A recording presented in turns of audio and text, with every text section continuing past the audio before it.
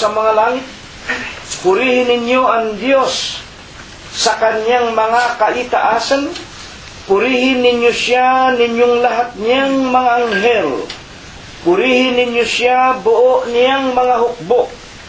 Mga hari sa lupa at lahat ng mga bayan mga pangulo at lahat ng mga hukom sa lupa, mga binata at gayon din ng mga dalagang, mga matatanda at lahat ng mga bata.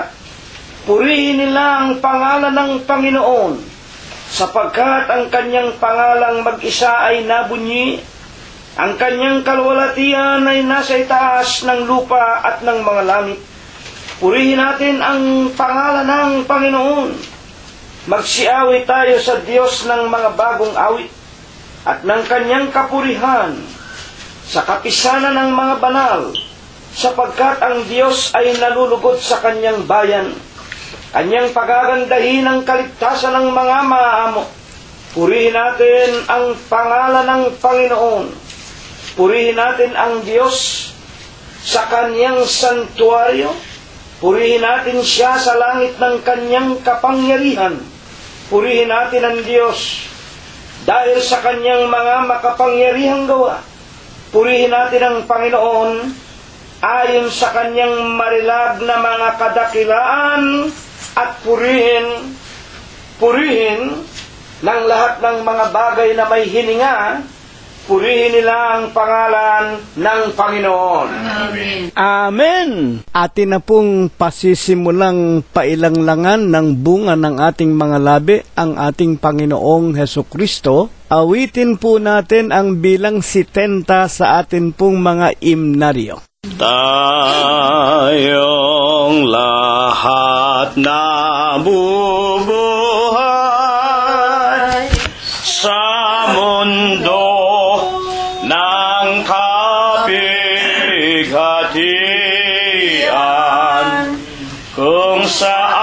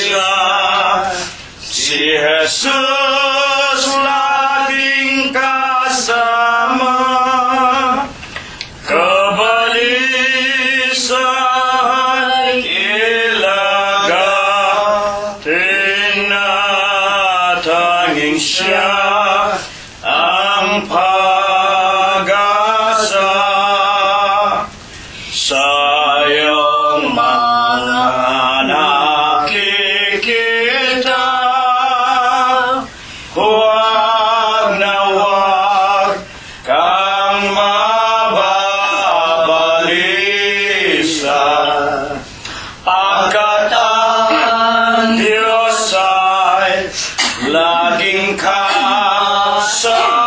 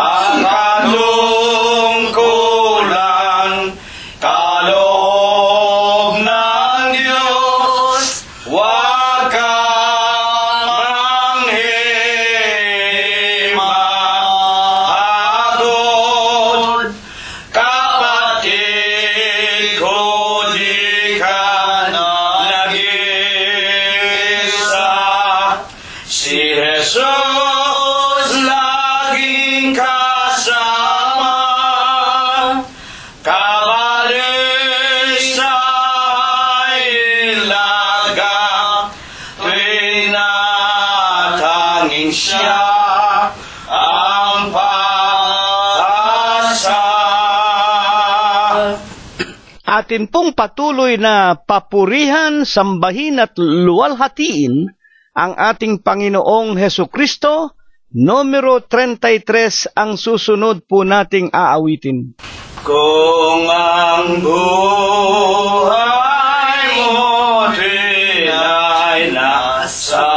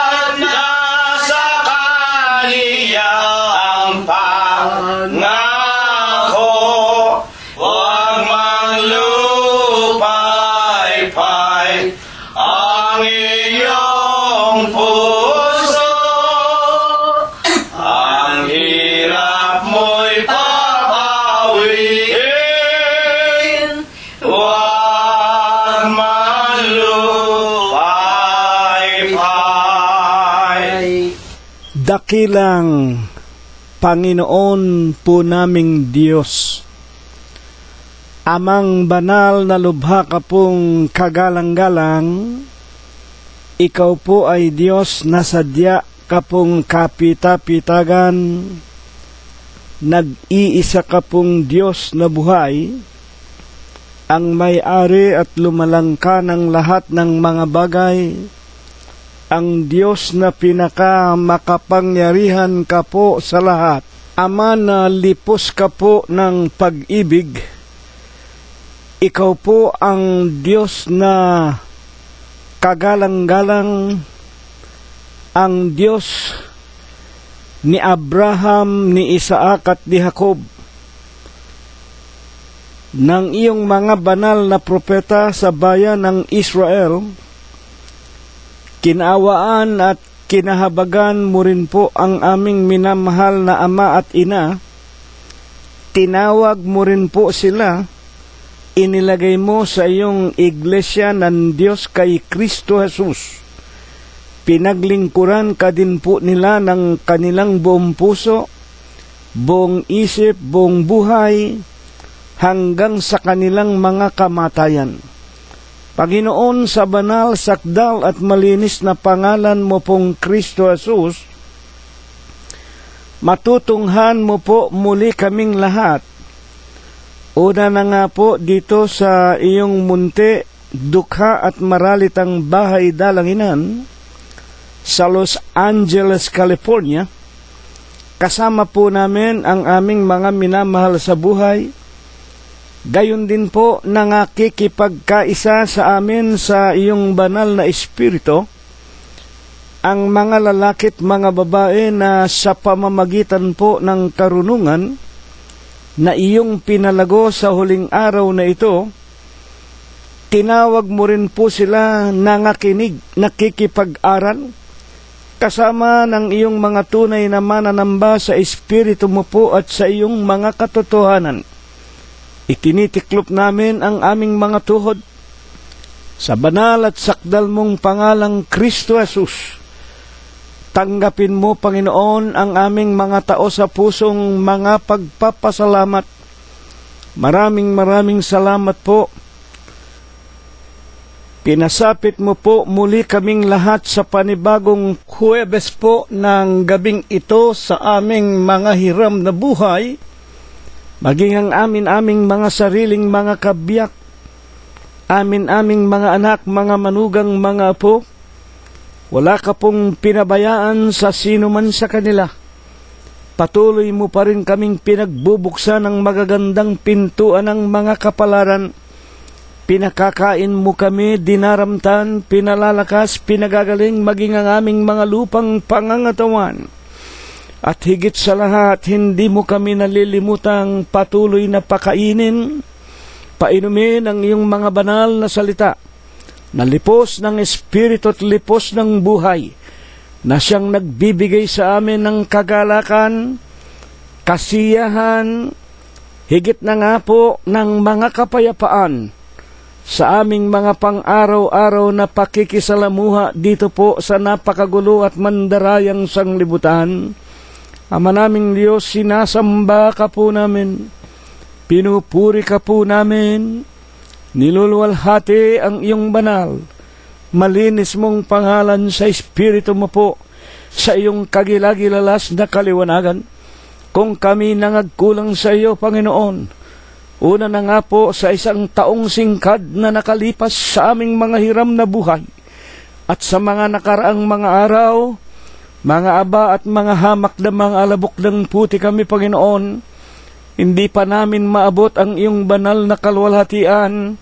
Sa Webes po ng gabing ito'y patawarin mo po kami sa lahat ng aming nagawang mga kasalanan.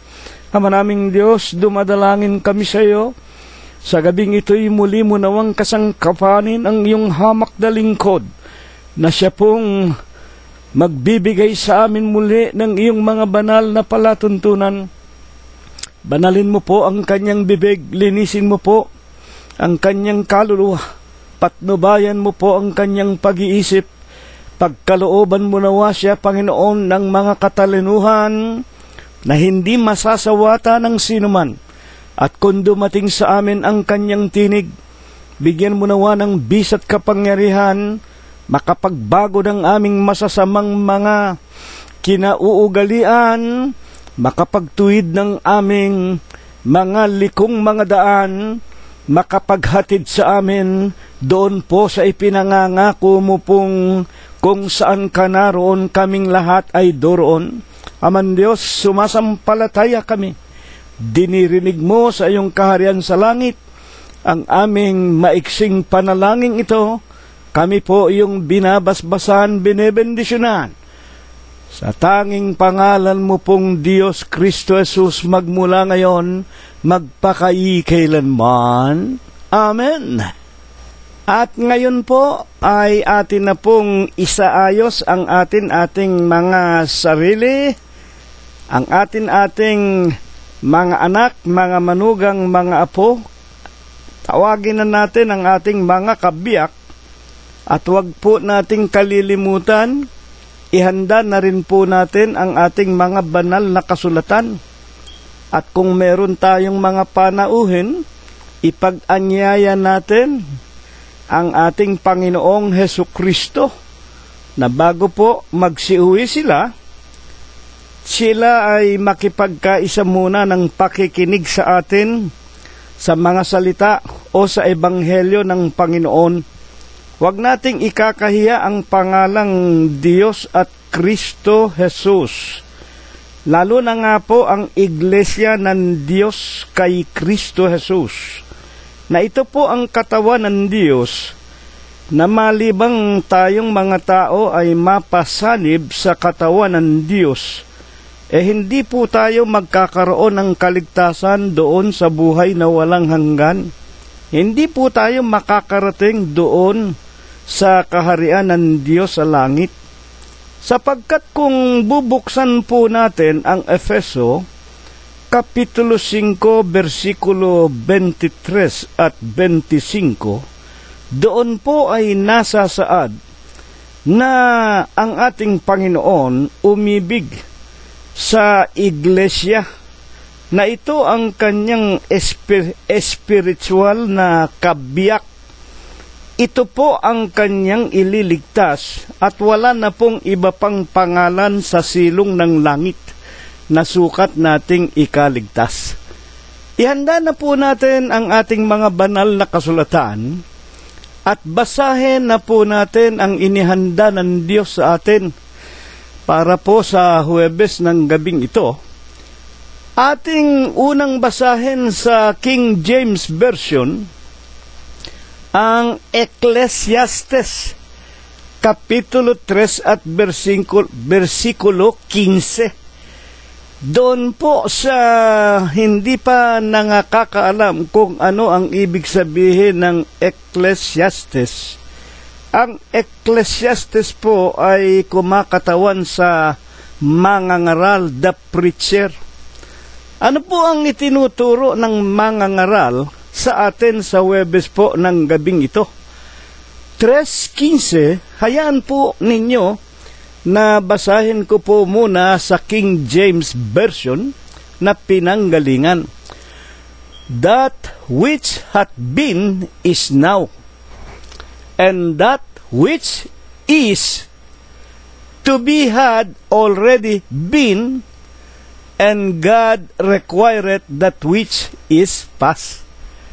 Ito po ay salitang original English na tila mahirap unawain, ngunit nang ito po ay maisalin sa ating salitang Tagalog, 3.15 ayon sa mga ngaral, ang nangyari sa nagdaan ay nangyari na.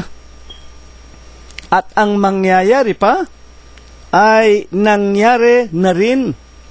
At hinahanap uli ng Diyos ang nakaraan.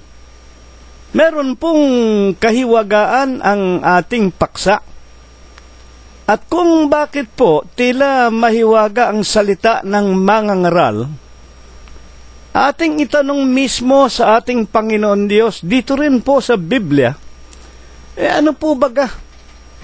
Ang pagkakilala ng mga unang lingkod ng Diyos o ng ating Panginoong Heso Kristo patungkol dito sa mga nakasulat sa banal na kasulatan na para sa ating ordinaryong mga tao, eh, mahirap yatang unawain.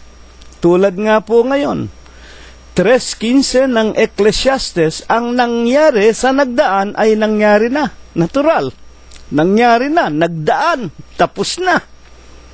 At ang mangyayari pa, yun daw darating na mangyayari pa lamang ay nangyari na rin. Sa makatid po pala, mga kapatid, sa mundong ito na ating ginagalawan ang lahat ng bagay na ating nakita at nasaksihan, ito'y nangyari na, nangyayari at mangyayari pa uli. Paulit-ulit po lamang. At ang wika nga ng paksa, hinahanap uli, talagang mangyayari uli. Hinahanap uli ng Diyos ang nakaraan na ngayon. Ano nga ang pananaw? Ano nga ang pagkakilala ng mga unang mga alagad sangayon sa kanilang mga pananalita mismo ang tinatawag na mga salita ng Diyos tulad ng ating paksa. Pabayaan natin ang alagad na si Apostol Pablo, ang alagad sa kahentilan, ang magpaliwanag sa atin sa unang Korinto Kapitulo 2 at versikulo 7. Kundi sinasalita namin.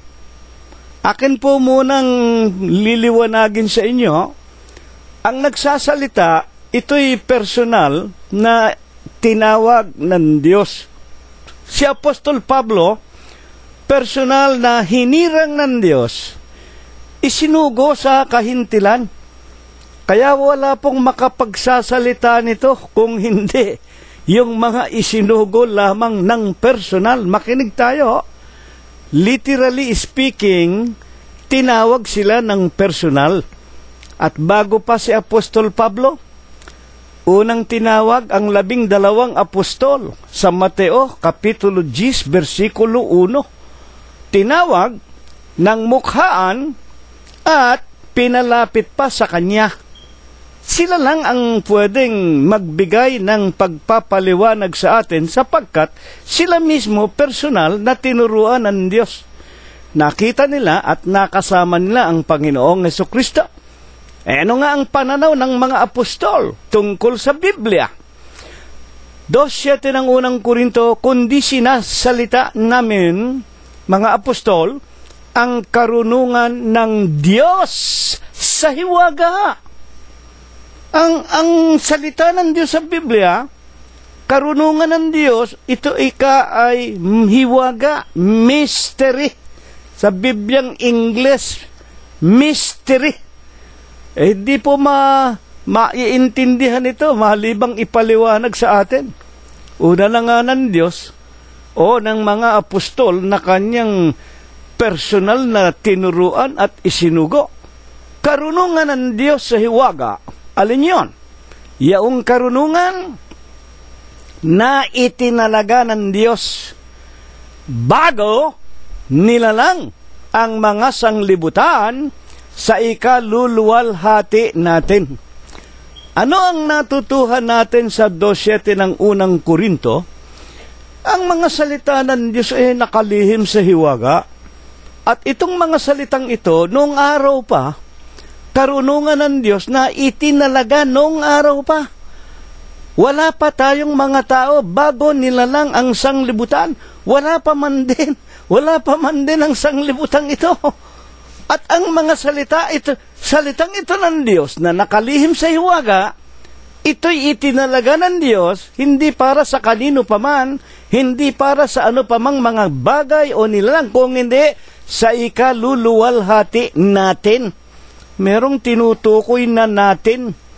At kung sino yung natin na yan, mauunawaan natin sa pagpapatuloy ng ating pag-aaral sapagkat hinihinuha inaakala ng maraming mga tao na ang mga banal na kasulatan eh para ito sa lahat ng tao na ang wika pa nga ng ibang mangangaral gayon na lamang ang pag-ibig ng Diyos binigay ang kanyang bugtong na anak San Juan Kapitulo 3 versikulo 16 upang ang sino mang magsisampalataya sa bugtong na anak na walang iba kung hindi ang ating Panginoong Yeso Kristo ay magkaroon ng tinatawag na kaligtasan. Totoo ba yan?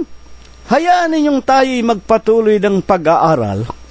At dito'y mapapatunayan natin ang tinutukoy sa unang Korinto 2.7 na ang mga banal na kasulatan, karunungan ng Diyos, nakalihim sa hiwaga, ito'y hindi para sa lahat ng tao, Lalo na nga hindi sa lahat ng nagsisitawag o kumikilala, sumasampalataya sa Panginoong Kristo. Sapagkat meron pong ipinakikilala ikaluluwalhati natin, hindi ng buong sanglibutan. Ngayon, bakit nga po baga ang salita ng Diyos ay niloob na mapasulat sa hiwaga? Bakit ito misteryoso? Ang ibig lang sabihin, unang Korinto 2.4, si Apostol Pablo din ang magpapatuloy. At ang aking pananalita, si Apostol Pablo, ang aking pananalita, ang aking pangangaral ay hindi sa mga salitang panghikayat ng karunungan, karunungan ng tao, kundi sa patotoo ng Espiritu at ng kapangyarihan. Ito po, bakit inalihim sa hiwaga ang mga salita ng Diyos? Ito po hindi ordinaryong salita. Ito po ipinangangaral ng mga apostol tulad ni Apostol Pablo, hindi para makahikayat sa pamamagitan ng karunungan o ng mga tinatawag na kaalaman ng mga tao. Sila'y nangangaral, ipinangangaral nila ang patotoo. Makinig tayo. Patotoo ng espiritu at ng katotoo at ng kapangyarihan. Eh ano ba yung tinatawag na espiritu? Kami nangangaral hindi ng salitang karunungan ng tao. Kung hindi, ito ang patotoo ng espiritu. Eh alin ba yung espiritu? Sa aklat ni San Juan, Kapitulo 4, versikulo 24, ang Diyos ay espiritu. At kung ano ang espiritu, walang laman at walang buto. At kung alin yung Diyos, kung alin yung espiritu na walang laman at walang buto, wala pong iba kung hindi yon ang Diyos na walang laman, walang buto. Ngunit, ayon kay Propeta Jeremias 32.27, naririto, Ako ang Panginoong Diyos ng lahat ng tao. May anumang bagay ba na mahirap sa akin? Yan. Yan ang itinuturo ni Apostol Pablo, karunungan, nakalihim sa hiwaga, hindi panghikayat sa mga tao na mga kapatid, tila karunungang pantao kung hindi patotoo ng makapangyarihan sa lahat at ng kanyang kapangyarihan. Walang imposible sa kanya. Uh, lahat ng bagay magagawa niya. Eh, kaya nga po maraming mga tao nagsasabi ang banal na kasulatan daw. Isipin ninyo, isang halimbawa, anim na po at anim na aklat ang matandang tipan, binubuo ng tatlumpu at siyam na aklat. Magmula kay Moses hanggang kay Malakias ilang ilang daang taon halos libo ang pagitan sa isa't isa ng mga propeta na sumulat nito. Gayon man ang tatlumput siyam na mga aklat na ito ay nagpapakilala ng tinatawag na isang darating sa lupa ng isang mesaya na magliligtas sa mga tao na nangalugmok sa kasalanan at mga kalikuan. At ang bagong tipan dalawampu at pitong aklat na isinulat naman una-una ng apat na ebanghelista at ng mga apostol at pinatunayan, mga kapatid, maging ang mga bagay na darating sa pamamagitan ni Apostol Juan na sumulat ng Apokalipsis, dalawampu at pito. Isipin ninyo, at ang mga kasulatan din namang ito, mga kapatid, nasulat sa iba't ibang paraan at iba't ibang kapanahunan. Ngunit, ng uh, pagsamasamahin ng Diyos sa pamamagitan ng Espiritu, katulad po ng sinasabi ni Propeta Isaias 34.16, inyong basahin, inyong saliksikin sa aklat ng Panginoon, isa man dito'y hindi mangangailangan ng kanyang kasama, isa man dito'y hindi magkukulang. Bakit? Anim na put anim, tatlumpu at siyam na matandang tipan, dalawampu at pito na bagong tipan, pinagsama-sama sa pamamagitan ng Espiritu ng Diyos. Hindi magkukulang at ang wika ng Panginoong Kristo sa 5.39 ng San Juan, Basahin ninyo ang mga kasulatan, inaakala ninyo na dito meron kayo ng buhay na walang hanggan. Ito ang ipinangangaral ng mga apostol. Ito ang sinasabit itinuturo ni Apostol Pablo. Ang aking pananalita, ang pangangaral ko, hindi sa salitang panghikayat ng karunungan ng mga tao, kundi sa patotoo ng Espiritu at ng kapangyarihan. Bakit? Bakit ang mga apostol hindi gumagamit ng karunungan ng tao kung sila'y nangangaral? Dosing ko ng unang Korinto. Upang ang inyong pananampalataya ay huwag masalig sa karunungan ng mga tao. Ito po, napakagandang dahilan. Para ang ating pananampalataya, huwag tayong masalig sa karunungan ng mga tao. Eh, malimit na nga, nakikita natin, itong napapanood natin sa mga television, sa YouTube, sa computer, mga leader ika ng mga demagoga ng mga relihiyon, mga doctor of divinity, theosophy and letter, eh, pag nagsasalita naman, walang itinuturo, kundi lohi ka ng tao, karunungan ng tao, kwento ng tao, mitolohiya ng tao, salit-saling sabi. Kaya ang nangyayari ngayon, ang nakikinig nasasalig doon sa tao na nagsasalita. Ay, kaya marami kayong nakikitang tao na mga panatikong panatiko sa kani-kanilang reliyon, tanungin mo, kaninong reliyon ba kayo kasama? O kami ika kay Eli Soriano, ako'y batalino. O kami ika eh, sa mga manalo. Sugong Angelika sa uling araw, eh yun ang nangaral sa kanila eh. Ang mga protestante, gayon din. Mga kapatid, at mga magulang, datapwat ang talagang isinugo ng Diyos. Tanungin mo sila, mga kapatid at mga magulang, nangangaral kami, hindi ng karunungang panghikayat sa mga tao, kundi ang ipinangangaral namin, inalihim ng Diyos sa hiwaga sa patotoo ng Espiritu ng Diyos at ng Kanyang kapangyarihan para ang pananampalataya natin, ang kaluluwa natin, huwag tayong matayo. Saan? Sa mga tao, kundi sa kapangyarihan ng Diyos. Napakaganda. Kaya ang iglesia po ng Diyos kay Kristo Jesus, kung tatanungin po ninyo kami, eh kayo kapatid na si Rilo, sino ba ang nangangaral sa inyo? Eh di walang iba kung hindi ang aming Panginoong Heso Kristo. Sapagkat itong mga apostol na ito, ngayon, kababasa ko lamang sa inyo, ang ipinangaral sa amin ni Pablo, hindi yung kanyang salita. Nakuha na ba ninyo? Kung hindi, yung mga salitang nakalihim sa hiwaga, nakasulat sa Biblia.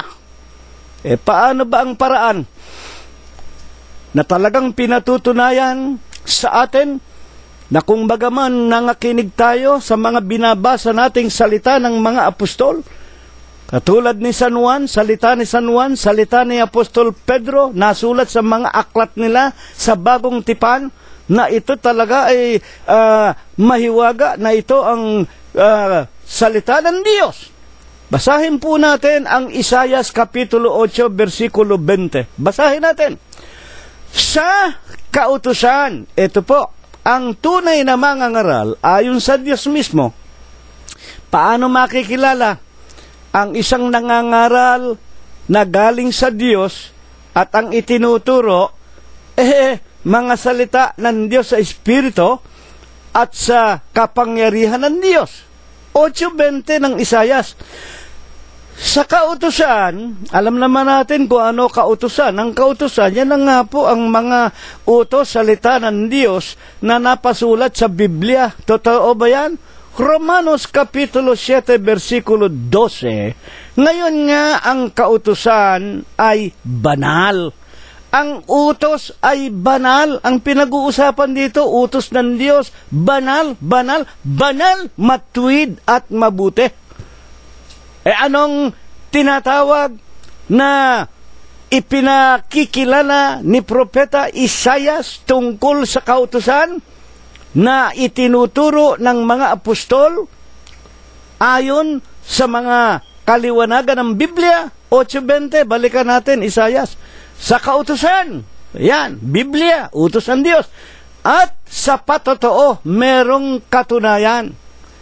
Kung hindi sila magsalita ng ayon sa salitang ito tunay walang umaga sa kanila at pag binabanggit yung walang umaga, ang ibig lang sabihin, walang kaliwanagan, walang katotohanan sa kanila. Kung ano?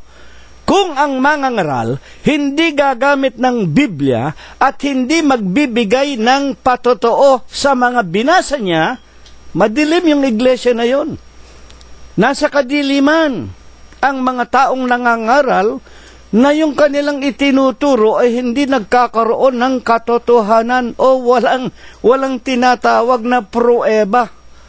And it is commonly said by uh, regular people, facts and figures. O hindi ba ito ang kasabihan nating mga tao? Para ako maniwala, I want to hear facts and with figures na ang ibig lang sabihin ng isang tao na humahanap ng katunayan at kadibayan, kailangan ko ang kasaysayan ng mga nangyari at ang mga katunayan na ito nga ay nangyari. Kaya, kaya nga maski, ma, maski ang husgado ng tao, eh, gumagawa ng sa kanilang mga pagsisiyasat para makapag ah, ah, latag ang isang huwes ng kanyang hatol sa bawat nagkasala, eh hinahanapan ng facts and figures, hinahanapan ng tinatawag na salaysay at ng mga patotoo, may mga testigo. Ang ibig lang sabihin, 8.20, Isayas, sa kautusan, gumagamit ng Biblia ang tunay na mga ngaral at sa patotoo, merong katunayan na nangyari. At katulad nga ng ating paksa, mga kapatid, Ecclesiastes, ang pangaral ng mga ngaral, ang nangyari sa nagdaan ay nangyari na. Ayan. Meron ba talagang mga nangyari na nakita nating nangyari na nga? Nako, napakarami po, mga kapatid. At ang mangyayari pa, yung darating pa lamang, ay nangyari na rin. Kung meron pang darating na ibang mga bagay, eh, nangyari na rin pala iyaon. Bakit? Hinahanap uli ng Diyos ang nakaraan sa makatwid. Sa buhay nating ito, wala nang bago. Paulit-ulit lamang. Bakit? Eh, wala tayong magagawa. Yan ang gusto ng Diyos eh. Mga kapatid at mga magulang. Ngayon, ang itatanong natin ay ito. Sa ngayon po sa ating patuloy na pag-aaral, ang lahat ng mga nangangaral, na ang lahat ng mga nangangaral, ang pinag-uusapan, pangangaral ng Ebanghelyo, na hindi nagkakaroon ng kaganapan ang kanilang sinasalita. Halimbawa, mga mangangaral, salita ng salita. Meron di kang darating na ganoon, meron darating na ganyan, ngunit hindi pala nangyayari. Ah, yung pala eh walang katotohanan dahil nga po, eh ang itinuturo eh karunungan ng mga tao. Bibigyan ko kayo ng isang napakagandang halimbawa. Ito na lamang tinatawag na Darwinian theories. Kilala natin si Charles Darwin. At ito nga lalaking ito, talagang napakamatalino ito. Academically, very intelligent at tinawag nga na scientist. Na ito nga po ang nagsaliksik ng pinanggalingan daw nating mga tao. Na dahil sa Darwinian theory, makinig tayo mga kaibigan, no? Pag sinasabing teori, theory, haka-haka, opinion. Ang teori ni Darwin, tayo daw mga tao, eh bunga ng mga malalaking wika nga, eh malalaking uh, buntala sa kalawakan sa langit na nagsalpukan at nang magkabungguan, nagkaroon daw ng friction, Pagkatapos daw sa friction, lumabas yung tinatawag na mga chemical. Yung mga chemical nagsama-sama. Pagkatapos nagkaroon daw ng tinatawag na buhay na kiti. Yung kiti, naging palaka. Yung palaka, naging isda. Yung isda, naging tinatawag na daga. Yung daga, naging chombo. Yung chombo, naging tao. Yan ang, yan ang Darwinian theory. Theory of evolution. Tandaan ninyong sinabi sa atin, 8.20 ng San Juan, siya, kautusan at patotoo. Kapag hindi sila nagsalita ng mga bagay na ito, kamukha ni Charles Darwin, tayo raw ay bunga lang ng bungguan, mutation, ng mga kiti, ng mga hayop. Pero meron silang missing link. Hanggang ngayon, humahanap sila ng tao na may buntot, mga kapatid at mga magulang. At para sabihin namin sa inyo, kaming mga iglesia ng Diyos, hindi po kami bunga ng mutation. Kami sa Iglesia ng Diyos kay Kristo Jesus, hindi kami bunga ng karunungan ni Charles Darwin. Kami po nilalang ng Diyos mula sa alabok ng lupa, gaya ng itinuturo ng Iglesia ng Diyos na napasulat sa aklat ng kasaysayan ng pasimula ng sanglibutan. Basahin ninyo ang Genesis, mga kapatid, ang Diyos kumapal ng alabok, inanyuan sa kanyang larawan at pagkatapos hiningahan ng hininga ng buhay ang tao naging kaluluwa na may buhay. Eh, pagkatapos kayo naman eh, napakaraming taong pinatay ang kaluluwa itong Charles Darwin na ito. At hanggang ngayon, marami na nga ayaw nang maniwala sa Biblia. Dahil nga, mas naniniwala sa itinuturo nitong si Ginoong Charles Darwin sa kautusan at patotoo pag hindi sila nagsalita ng mga bagay na ito, walang kaliwanagan sa kanila. At kung walang kaliwanagan, sapagkat kasinungalingan eh, eh hindi naman maaaring tayong tao eh nang galing sa tsonggo o sa gurilya.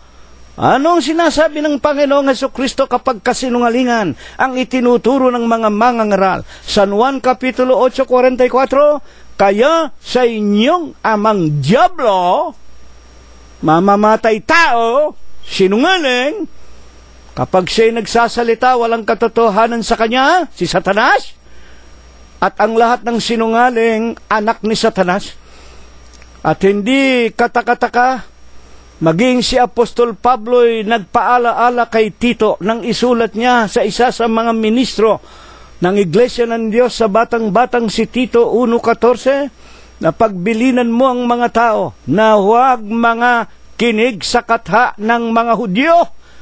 Mga kapatid, sa katotohanan po, karamihan ng matalinong taong isinilang sa lupa. Lalo na nga si Charles Darwin, kung hindi ako nagkakamali, may dugo rin ng pagkahudyo yan eh. Lahi din ng mga anak ng Diyos yan eh. Mga kapatid, Tito 1.14, Huwag mga kinig sa katha ng mga Hudyo sa aral ng mga tao. Bakit? Sinsay sa katotohanan. At kung sinsay sa katotohanan, sila nga, ayon sa Panginoon, mga anak ng Diablo ni Satanas, mamamatay ng kaluluwa ng tao.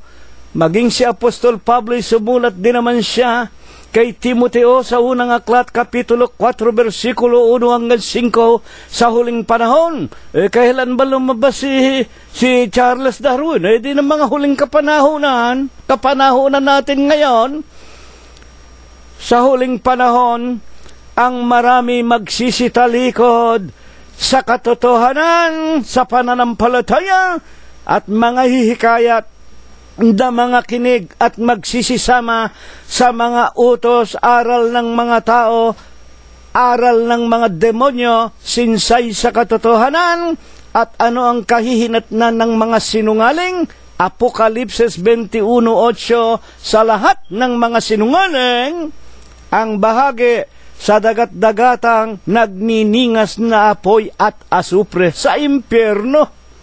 Yan ang napakagandang ipinakikilala sa atin. Kaya mga kapatid ko, mga kaibigan naming nakikinig, huwag kayong magagalit sa amin kapag kami nagsasalita sa inyo ng mga katotohanan. Hindi kami nagagalit sa inyo. Nagagalit kami doon sa mga sumisira ng inyong mga kaluluwa, pumapatay ng inyong kaluluwa, na hindi ninyo nalalaman yan ay mga utos aral ng mga demonyo. Papaano po baga? Lubos na pinagtitibay ng sumulat ng Ecclesiastes o ng aklat ng mga ngaral itong ating pinakapaksa. Tulad ng sinasabi sa Ecclesiastes 1.9, hayaan ninyong ipagpatuloy natin ang pag-aaral. Paano niya pinatutunayan na talagang yung mangyayari pa lang ay nangyari na at yun ay hinahanap talaga ng Diyos? Ecclesiastes 1.9. Yaong nangyari ay siyang mangyayari. Nakuha na niya, nangyari na pero mangyayari pa. At yaong nagawa, nagawa na, eh siyang magagawa. At walang bagong bagay sa ilalim ng araw. Wala palang bagong bagay. Tunay na tunay. Hindi pala tayo, hindi pala tayo dapat magtaka eh. Halimbawa, yan na lamang gera. O, eh, di ba, totoo naman? Ang nalalaman natin ng mga tao sa huling araw, yung unang digmaang pandaigdig sa Europa, 1914 to 1918. Ay, na, hindi ba nangyari uli ang gera mundial? Pagkatapos ng halos dalawampung taon lamang, 1940, 41, mga kapatid, nagumpisa, eh, nilusob ng mga Hapon ang Pearl Harbor sumiklab ang ikalawang digmaang pandaigdig. O hindi ba nangyari na ang World War I tapos ano nangyari? May dumating pa ikalawa. Paulit-ulit. At hindi lamang yun. Bukod sa tinatawag na mga World War Sa tinatawag na mga maliliit na bansa at mga bayan, may kanikanya silang mga digmaan. Eh sa Pilipinas na lamang eh, katakot-takot, taon-taon meron terorismo sa Mindanao. At ma- nakakaabot hanggang Luzon sa Maynila hanggang ngayon. 2017 na. O kailan lang, mga ilang araw lang nakakalipas. Nagkaroon ng terrorist attack sa Hilonggo sa Leyte. Pagkatapos po sa Davao at sa Maoti. Yan eh, tinatawag na mga pagpatay ng tao, digmaan, na nalalaman nating nangyari na, ngunit mangyayari pa paulit-ulit. Napakaganda ng ating pag-aaral. Yan ay isang halimbawa lamang. Mga ginagalang na mga tagapakinig talagang tiyak na tiyak, walang pag-aalinlangan. Ito ang salita ng Diyos na ah, ayon sa ating pag-aaral, ito ang itinalaga na ng Diyos bago pa nilalang tayo at ito'y paulit-ulit na mangyayari. At talaga bang walang makakapigil sa tinatawag na panukalang ito ng Diyos? Hayaan ninyo ang Diyos ang magpaliwanag. Sa pamamagitan ni Propeta Isaias 46.11, Oo, aking sinalita, sabi ng Diyos, oh. Eh, alin ba sinalita ng Diyos? Eh, ito nga, itong aral ng mm, tagapangaral. Yung nangyari na, mangyayari pa, yung nagawa na, magagawa pa rin, at walang bagong bagay sa ilalim ng lupa. Sinalita, nino, ng Panginoon Diyos. Aking sinalita, akin namang papangyayarihin, aking pinanukala, akin namang gagawin. Amen. Napakaganda po. At maging nang magkatawan tao ang Diyos, paano pinatutunayan ng Biblia na ang Panginoong Heso Kristo siya mismo ang Diyos? Makinig kayong mabuti ha. Kasi napakaraming tao ayaw tanggapin si Kristo na siya rin ang Diyos na nagkatawan tao. 46.11, sinabi ng Diyos sa pamamagitan ni Isayas, aking sinalita, aking pinanukala, akin namang gagawin. Eh ano ang sinabi ng Panginoong Kristo bilang pagpapatunay na siya rin yung Diyos na yon na nagsalita kay Isayas? Mateo 24:35. Pabayaan natin ang Panginoong Yeso Kristo. Ang langit at ang lupa ay lilipas, dadapwat ang aking mga salita, hindi lilipas. At kung ano nga yung mga sinalita na yan ng Panginoong Yeso Kristo, sa 24 kung babasahin ninyo, magmula uno, mga kapatid, pababa ang lahat ng mga talata sa 24, pangkat 24 ng Mateo, lahat ng mga nangyari na, nangyayari pa uli at mangyayari pa uli, mga kapatid, tulad ng mga digmaan. Na paulit-ulit nga, ilang ulit nang nangyari, hindi lamang sa tinatawag na buong mundo, kundi sa bawat bayan, bawat bansa. Hindi lang natin napapakinggan sa iba't iba pang mga bansa, mga kapatid. Pero wala pong tigil ang pagpapatayan ng mga tao, wala pong tigil ang lahat ng kasamaan, ang lahat ng karumal-dumal na gawain ng mga tao. Ngayon, alin po ba naman ang isang gawain noon? Oh, eto na. Ito ang pinakalundo ng ating pag-aaral. Ano po ba naman ang isang malawakang gawain? Noon, nung araw pa, ho? Noon, na ito'y paulit-ulit nakikita ng Diyos na patuloy na ginagawa ng mga tao. Kung babasahin po natin ang Genesis, kasi ang pinag-uusapan eh, noon eh. Eh, pasimula pa lang halos na nilalang ng Diyos ang sanglibutan, panahon pa ng mga unang mga banal ng Diyos. Basahin po natin, Genesis 19.1, basahin po natin. At nagsidating ang dalawang anghel sa Sodoma nang nag, nagtatakip silim na. Putulin ko po muna, ho. Ito po nang ang silot ay napahiwalay na, mga kapatid, kay Abraham. Alam natin ang kasaysayan, si Lot, pamangkin ni Abraham. At sila po'y laging magkasama, dapat dadapwat ng lumalawak na ang kani-kanilang tinatangkilik, dumarami na ang kani-kanilang mga hayop, eh nag-aaway-away na yung kanilang mga pastol. Kaya na, napagkasunduan ng mag-ama, narinig ka sa kapatagan, magkabila, kanan, kaliwa, tingnan mo ikalot kung anong gusto mong piliin, piliin mo kung ano gusto mo. At yan ay mapapa sa iyo sapagkat yan ay ibinigay sa atin ng Panginoon. At nagustuhan nga ni Lot yung parte ng tinatawag na ah, hilagaan, kung hindi ako nagkakamali, na maberde ang lupain doon. Pinili niya yon. At dahil nga si Abraham eh banal ng Diyos at siya eh kinakasihan ng Espiritu, eh nagpalugi na si Abraham.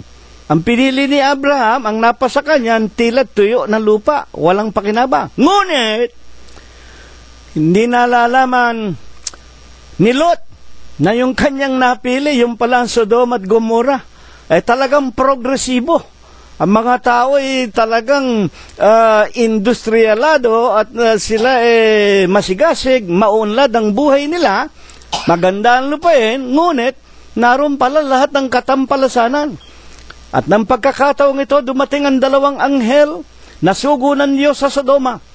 Nang magtatakip silim at silot ay nakaupo sa pinto ang bayan ng Sodoma at nagsabi, Ngayon nga, Panginoon ko, ipinamamanhi ko sa inyo na kayo magsiliko at magsipasok sa bahay ng inyong lingkod, inanyayahan ni Lot, at kayo'y matira sa buong magdamag at maghugas ng inyong mga paa.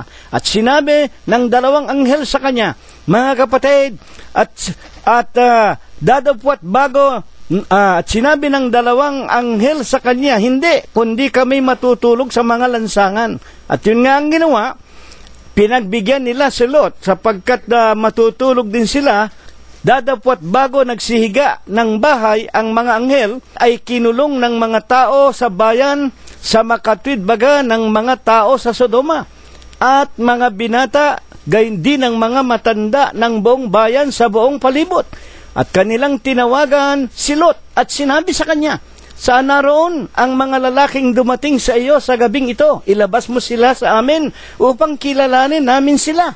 Dito po sa pagkakataong ito, sa Sodom at Gomorrah, huwag kayong magagalit sa akin na ito ang pinakalundo ng ating pag-aaral.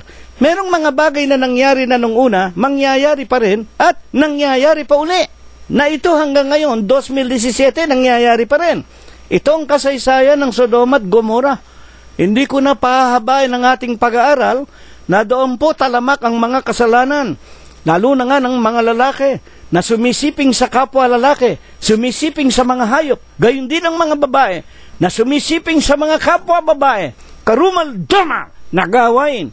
At dito nga nakita nila ang panauhin ng dalawang anghel na magagandang lalaki, dinumog ang tahanan ni Lot ng maraming mga binabaing ito't mga bakla na ito, huwag magagalit sa akin, at kanilang pinipilit si Lot, palabasin mo ang mga magagandang lalaki na bisita mo. Ngunit tumanggi si Lot at nagsabi, Mga kapatid, meron akong dalawang anak na magagandang babae. Huwag na ninyong intindihin ang aking mga bisita pabayaan na ninyo silang magpahinga. Ibinibigay ko sa inyo ang aking dalawang anak na babae na hindi pa nakakakilala ng lalaki, gawin ninyo kung anong ibig ninyong gawin sa kanila. Ngunit nagalit yung mga taga Sodoma, nagsabi, sino ba itong lot na ito? Nakikipamayan ka lamang sa amin at ibig mong maging hukom, ilabas mo sa amin ang iyong mga bisita. Ngunit, na magitan ng mga anghel, lumabas ang mga anghel, binulag ang kanilang mga mata. Ito'y nangyari na noon. At sa ating paksa ang nangyari na noon, nangyayari pa rin at mangyayari pa rin. Paulit-ulit magmula po noon hanggang ngayon, 2017. Paulit-ulit ang kasaysayan ng mga tao, mga lalaki. Sumisiping sa kapwa lalaki, mga babae, sumisiping sa kapwa babae. At ngayon, pati hayop talagang sumisiping, nagpapasiping. Na ito po ay karumal-dumol sa paningin ng ating Panginoon Diyos. Kaya ang paksa nating ito ng mga ngaral, meron pa bang karumal-duma na mga bagay na naganap sa lupa na nangyayari pa rin, gaganap pa rin, at ito'y inaasahan ng Diyos na mangyayari pa uli. Buksan naman natin ang kasaysayan ng Israel panahon ng mga hari sa pamamagitan ni Propeta Jeremias 7.16. Ang wika ng Diyos kay Jeremias, huwag mong ipanalangin ang bayang ito. Ang tinutukoy ang bansa ng Israel. Pinagsabihan ng Diyos sa Jeremias, Jeremias, huwag mong ipanalangin ang aking bayan. Ni huwag mong palakasin ang iyong daing patungkol sa kanila. Ni inalangin mo man o mamagitan man ikaw sa akin sapagkat hindi kita diringgin. Nangyari na. Nangyari noon. At ito ba'y nangyayari ngayon? Ano bang ginagawa nito? Bakit galit ang Diyos? Yung bansa ng Israel mismo ayaw nang ipanalangin. Wag, hindi kita pakikinggan. Ano bang ginawa ng kanyang bansa ng Israel? At yan ang katotohanan. Magmula noon, nilagot na ng Diyos ang ugnayan niya sa Israel sa galit niya. Ano ba? Ang pinakamasamang magagawa ng mga tao, lalo na nga ng kanyang mga anak, kanyang kinandili sa napakaraming mga taon, alang-alang kay Abraham. Ituloy natin ang pagbasa 7.17. Hindi mo ba nakikita, Jeremias, kung ano ang kanilang ginagawa sa bayan ng Huda at sa mga lansangan ng Jerusalem? Ang mga anak nangamumulot ng kahoy, ang ama nagpapaningas ng apoy, ang babae nagmamasa ng masa upang igawa ng mga tinapay ang reyna ng langit at upang magbuhos ng mga handog na inumin sa ibang mga Diyos upang kanilang mungkahiin ako sa galit. Ang pinakalundo ng ating pag-aaral, ang wika ng mga ngaral sa ating paksa Ecclesiastes, 3.15 ang nangyari na, sa nagdaan ay nangyari na, ang mangyayari pa ay mangyayari pa rin. At hinahanap ng Diyos ang nakaraan na sa makatwid mga kapatid talagang nakahanda na nakatalaga na ang mga tao talagang hindi mapipigil sa kanilang kasamaan tulad ng nangyari sa Sodom at Gomorrah noon pa man sumisiping ng lalaki sa babae. Eh, hindi ba yan nangyayari sa huling araw na ito? Hindi lang sumisiping, ikinakasal na. Eh, hindi ko na kailangan isa-isahin pa sa inyo. O anong pinakamalupit pinakamasama, pinakakarumal-dumal, walang kapatawaran na magagawa ng mga tao. Sangayon sa ating pag-aaral, yung pagsamba sa mga reyna ng langit. Katulad ng ginawa ng bayan ng Israel. Huwag mo na silang ipanalangin. Panginoon, bakit? Hindi mo ba nakikita nagpo-prosesyon sila sa mga lansangan ng Huda at lansangan ng Jerusalem? Ang mga ama pumuputol ng kahoy sa bundok. Ang mga anak ay naghahanda ng pamparikit. Ang mga ina nagmamasa ng tinapay, naghahanda ng inumin upang ihandog nila saan? Sa mga Diyos-Diyusan, sa reyna ng langit. Nung araw pa man, meron ng Birhen Maria. Eh, kayong mga, kayong mga nangakikinig, itinuturo ba ta, itinuturo ba ito sa inyo ng inyong mga reliyon? Itinuturo ba sa inyo ang pagsamba sa mga inanyuan, eh, kasalan ng walang kapatawaran? Huwag naman kayong magagalit. Lahat ng protestante, hanggang ngayon, katoliko pa rin. Eh, kayo sinasabi ninyo, protestante, protestante. Alam ba ninyo ibig sabihin ng salitang protestante? Protesting, lumalaban sa kalikuan ng simbahang katoliko. Eh, ipapuputol ko ang daliri ko pag nakakita kayo ng Baptist, Trinity, Pentecost, kung ano-anong relihiyong protestante na walang krus sa bubong ng kanilang mga kapilya. Eh, ano ba yung krus? Tatak yan ng simbahang katoliko. Kaya anong ginawa ng Diyos sa mga tao sa huling araw? na nangyayari, mangyayari, mangyayari pa rin ang kanilang mga karumal-dumal na gawain. Romanos 1.28 Saan itinalaga ng Diyos ang halos buong sanglibutan? At palibhas ay hindi nila minagaling na kilalanin ng Diyos. Romanos 1.28 Palibhas ay hindi nila minagaling na kilalanin ng Diyos. Ano ba ang Diyos?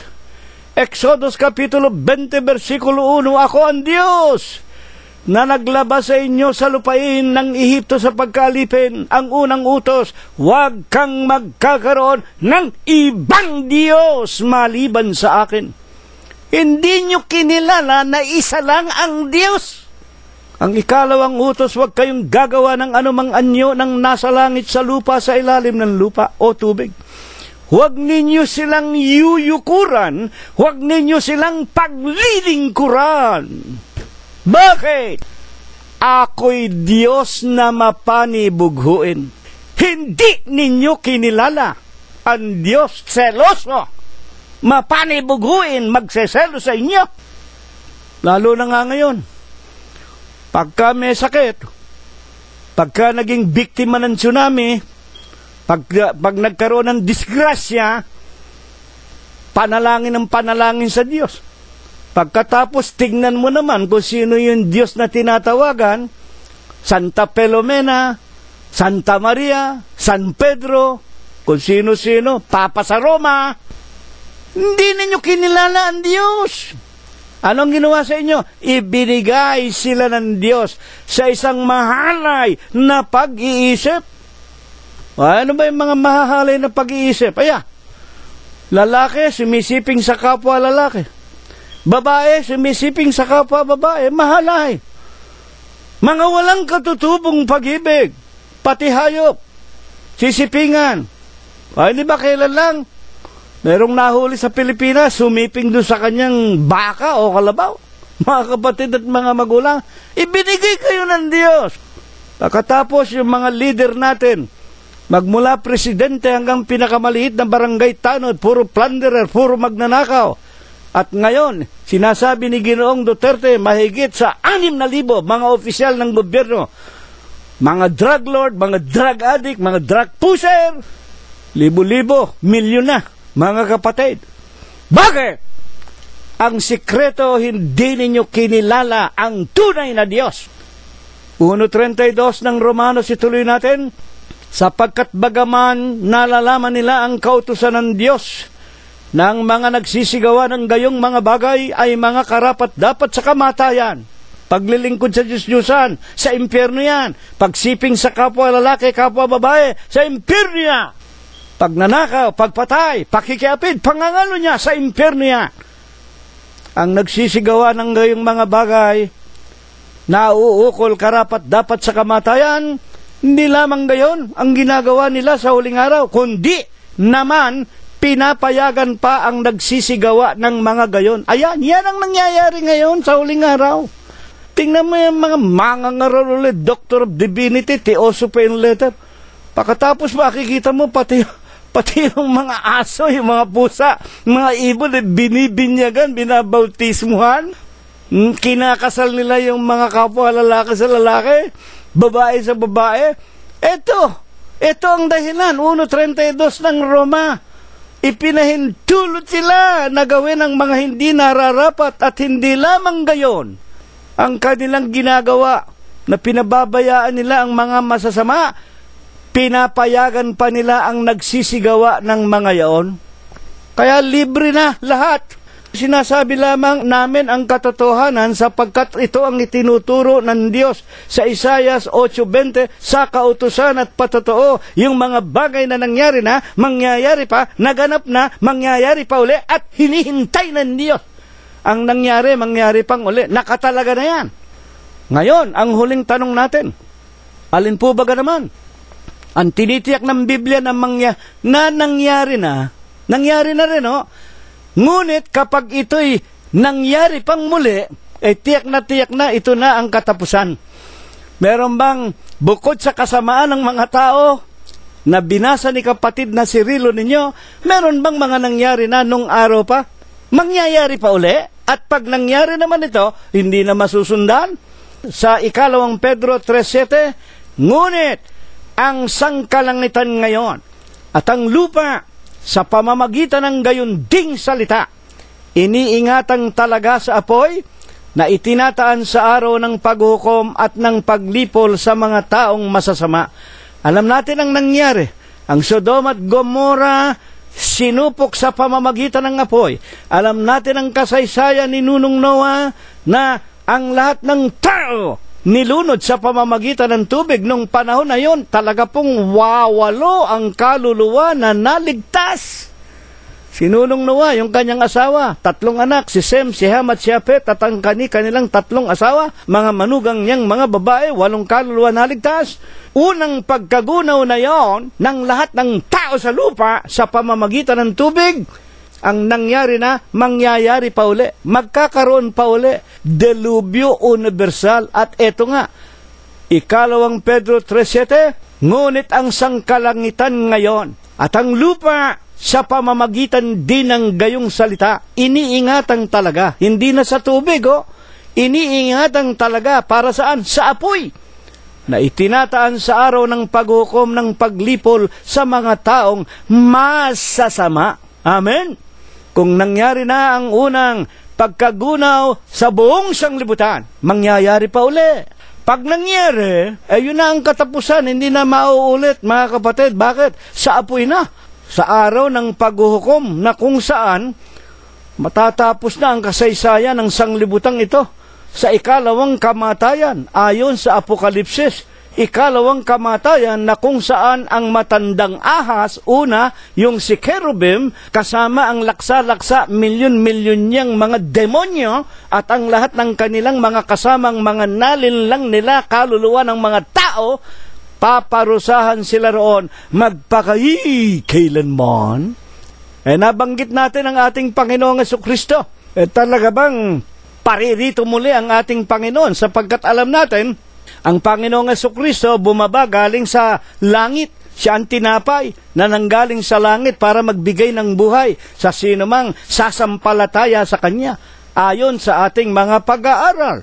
Eh, babalik ba uli ang Panginoong Kristo? Hayaan ninyo ang mga apostol ang magpaliwanag, mga huling talata na ating mapapakinggan mga kapatid. Sa kanyang 14.2, sa bahay ng aking amay maraming tahanan. Kung di gayon ay sinabi ko sana sa inyo, Paroroon ako upang ipaghanda ko kayo ng dakong kalalagyan at kung kayo aking maipaghanda na, mga kapatid, muling paririto ako upang kung saan ako naroon, kayo namang lahat ay doroon. Amen. Sa makatwid, babalik na muli ang Panginoong Kristo sa kanyang pagbabalik. Kukuhanin na niya ang kanyang mga lingkod. At kung saan naroon ang mga lingkod na ito, ang wika sa Genesis Napakinggan natin sa kasaysayan ng pagliligtas ng Diyos kay Lot. Sinabi ng Diyos sa Genesis 2.9, Pangi ang Panginoon ay marunong magligtas ng mga banal, si Lot banal, sa tukso at maglaan ng mga di matuwid sa ilalim ng kaparusahan hanggang sa araw ng paghukom. Tanong, sa huling araw nating ito, saan masusumpungan ang mga banal ng Diyos? Unang Korinto 1.1, si Pablo na tinawag na maging apostol ni Yeso Kristo sa pamamagitan ng kalooban ng Diyos. Si Sostenes na ating kapatid sa iglesia ng Diyos sa mga pinapagiging banal kay Kristo Jesus. Dito po, sa ikalawang pagparito, dito paroroon ng Panginoon sa kanyang iglesia ng Diyos kay Kristo Jesus na kinaroroonan ng kanyang mga mananampalataya. Dito, binabanal tayo. Kaya tayo nakikinig tuwing Webes at Linggo. Kaya tayo sumasamba. Kaya tayo nananalangin sa Iglesia ng Diyos kay Kristo Jesus. Babalikan tayo ng Panginoon. At sa ikalawang pagparito niya, hindi na mauulit sapagkat kukuhanin na niya tayo tayo po'y mananatili na sa kanyang tahanan sa langit, sa bahay na walang hanggan. Ito nawa ang ipagpala. Ito nawa, ibasbas sa atin ng Diyos magmula ngayon, magpakayi kailanman. Amen. At ngayon ay tanggapin po natin ang walang hanggang pag-ibig, ang walang hanggang pagbibiyaya, ang pakikipisan, ang kaaliwan, pamamatnubay at ang kagalingan, ang hindi maulatang banal na biyaya, basbas at bendisyon, pagliligtas at pagpapagaling ng kanyang banal na espiritu, ito nawa ang ipagkaloob sa atin ng Diyos magmula ngayon, magpakayi kailanman. Amen. Maraming maraming salamat po sa inyong lahat hanggang sa darating na linggo kung tayo po ay binubuhay pa. Salamat po sa inyong lahat.